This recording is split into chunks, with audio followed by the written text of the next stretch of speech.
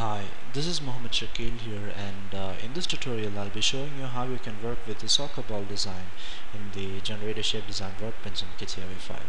So we have our soccer ball being created halfway so I highly recommend that you watch my previous tutorials to come up at, to, at this particular stage. So uh, right now you need to uh, you have your uh, first half of your uh, soccer ball being created so I'm just going to select each object here. And uh, make sure every cluster of your design is being selected just like this.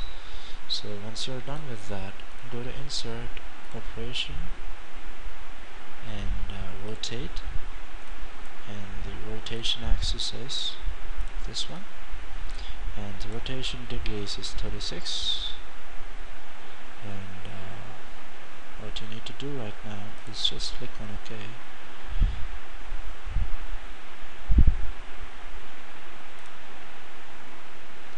So just uh, you're gonna get some error. It doesn't matter. You can click on OK.